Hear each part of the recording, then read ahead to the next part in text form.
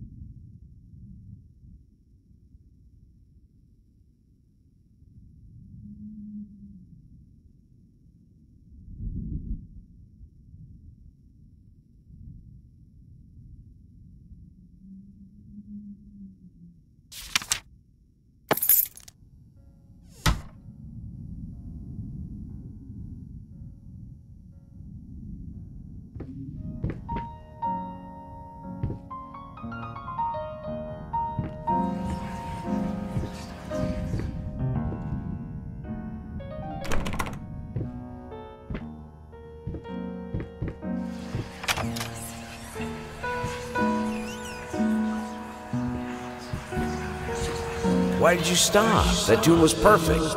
Honey, please, just a little longer. At least until I finish painting this one part. Oh, don't make me beg.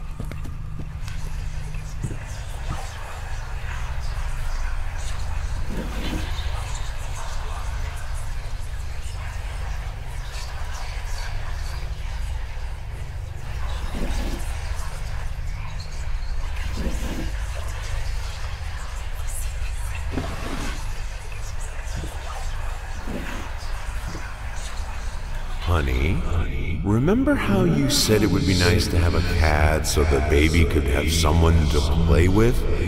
Well, I just bought us a dog. Aw.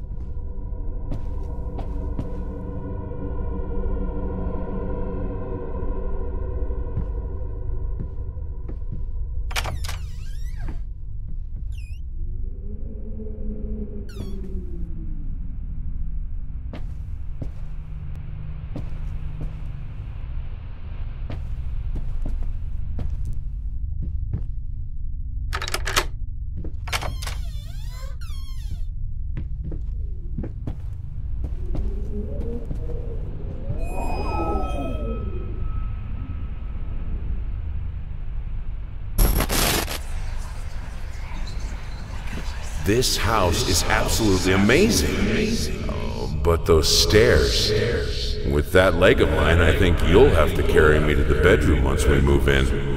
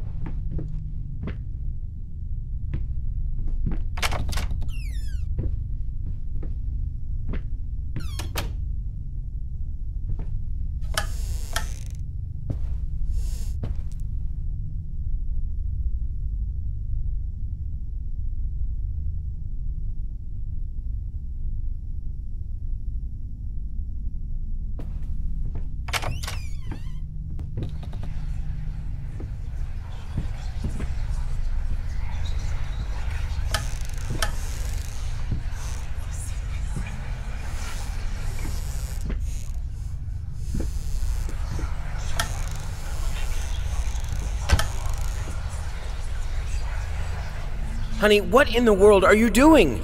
What did the doctor say about straining yourself? Leave that thing alone. It's not going anywhere.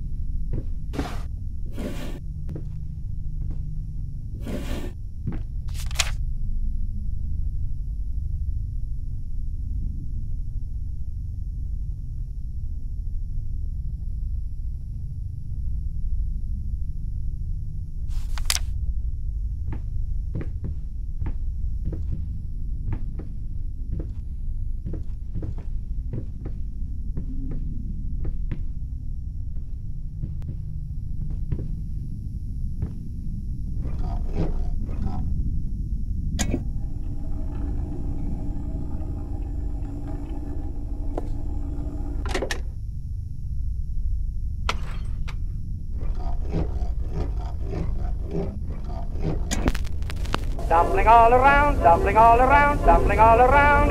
So funny. Stumbling here and there, stumbling everywhere, and I must declare, I stepped right on her toes, and